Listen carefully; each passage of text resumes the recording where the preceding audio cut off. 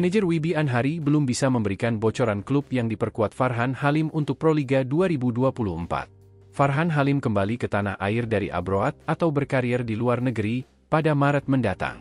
Farhan Halim menjadi satu di antara outside hitter timnas voli putra Indonesia yang dinantikan aksinya pada Proliga 2024. Kini pevoli berjuluk Bang Mule tersebut masih memperkuat Nahon Ratchasima yang berkompetisi di kasta tertinggi Liga Voli Thailand 2023 I 2024. Farhan Halim sukses membantu Nahon Ratchasima mengakhiri fase reguler sebagai pemuncak klasemen.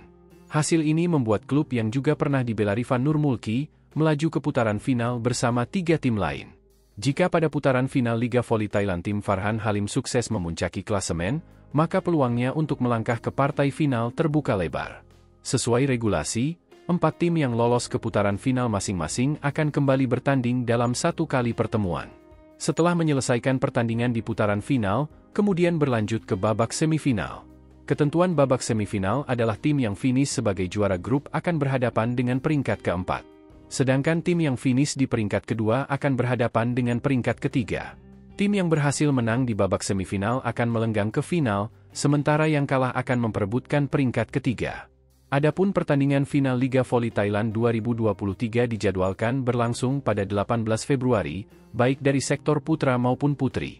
Lantas yang menjadi pertanyaan, apakah Farhan Halim bermain di Proliga 2024 setelah merampungkan kontraknya di Nahon Ratchasima? Wibi Anhari selaku manajer Farhan Halim menjawab pertanyaan tersebut ketika dihubungi Tribun News, Jumat, 2 Februari 2024, malam waktu Indonesia Barat. Iya dong pasti, main di Proliga 2024, jawab singkat Wibi Anhari.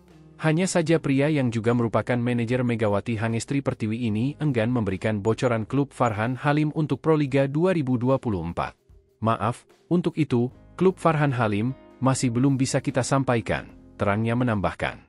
Download Tribun X sekarang, menghadirkan lokal menjadi Indonesia.